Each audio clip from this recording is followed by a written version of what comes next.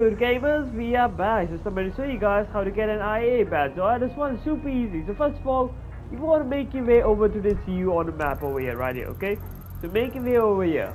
Once you're over here, equip the outfit, you want to put the IAA badge on. Once you have done it, press pause, go to online, go to playlist, and now we're going to go to create, and you're going to go to start races, okay? And now we're going to basically put the first one, select the first one, then go back, and you want to press save playlist, okay? So once you have done that, so once you let me just exit that because I already have a playlist. So once you have done that, press up You want to basically go over here, right here. Go in a circle, be in the middle or something. Alright, you can press options, go to online, go to jobs, no jobs, go to playlist, go to my playlist, and now the saved playlist will be there, okay? So you're gonna go on this alert right here.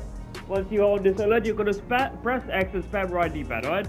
If you can press X and spam right D-pad now. So spam X and press spam right D-pad as much as you can, alright?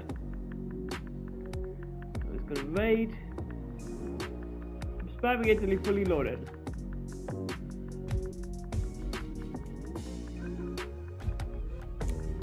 And if you turn it correctly, it will say ULP intelligence. That's fine. Now all you want to is confirm settings and press play.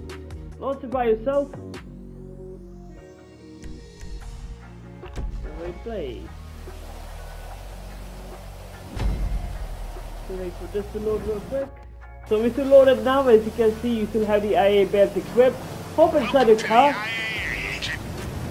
And now you want to make your way to any apartment you have, alright? Alright guys, so once the apartment, just at the end, unlike the uh, black uh, joggers or red joggers, you don't have to kill yourself, you can straight at the end, okay?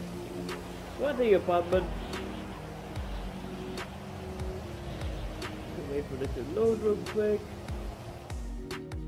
There we go. So you, once you are inside, you just want to make your way over to the top section where you can change your clothes and you can save your outfit. So this is the part where you save your outfit guys, so if you don't do it, just go ahead and it. Don't, here you go. Press right D-pad, press square, and the saved outfit, and now equip the number of equipment what you want, right? Alright chat, that's the video, I hope you'll enjoy and I'll see you all in the next one. Peace out, have a great day, safe.